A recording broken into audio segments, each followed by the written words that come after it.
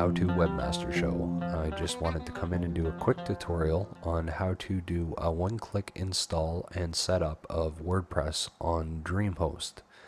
Um, if you don't have a DreamHost account, you can click the link in the section below and get one. But uh, first off, we're just going to start on how to actually install WordPress. So you log into your DreamHost account. Um, at uh, panel.dreamhost.com and uh, you come in and click on the one click installs. When you when you click on that the page will load up. And uh, you'll see WordPress here in the top right hand corner. So you click on that. And then we're going to do a custom installation. Um, simple installation will work but uh, it doesn't give you access to a lot of the stuff we're going to be using. So we're going to do a custom installation. Now we're going to choose a domain to uh, put it on. I'm going to put mine at demo1 howtowebmastershow.com. And uh, we're just going to leave it to automatically create database and click it. Install it for me now. So it just takes a second and uh, We'll get a little notification there that it's going to be set up within 10 minutes. So in 10 minutes time, you'll have a fresh installation of um, WordPress at your website. So uh, we're going to wait 10 minutes, and when I get back, we'll uh, set it up. Okay, so when you go to your domain name, um, and uh, after you've done the one-click install, this is the screen you will see. And uh, First thing, um, you're going to need a site name. So this is we're just going to call this one demo. Uh, one, how to webmaster show.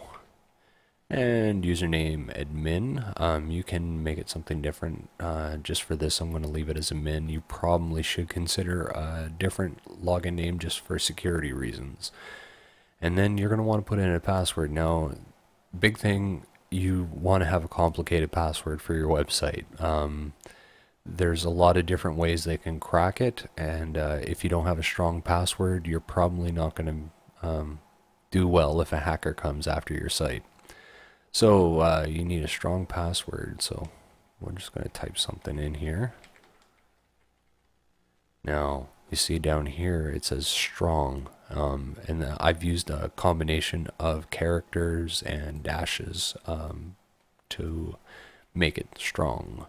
Um, so you have to type it in a second time to verify.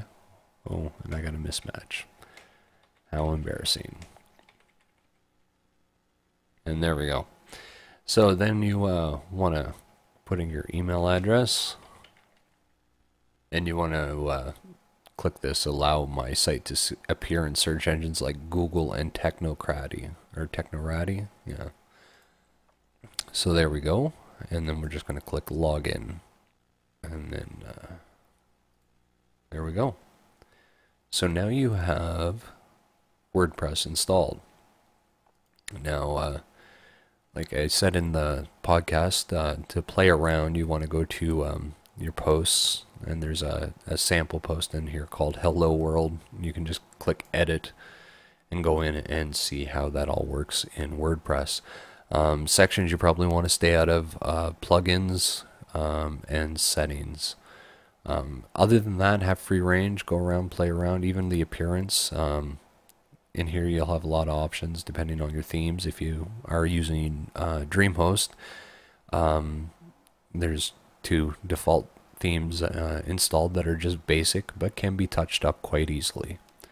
So anyway, um, that's it for this episode, and uh, we'll see you next Monday when we uh, talk about how to set up everything in WordPress.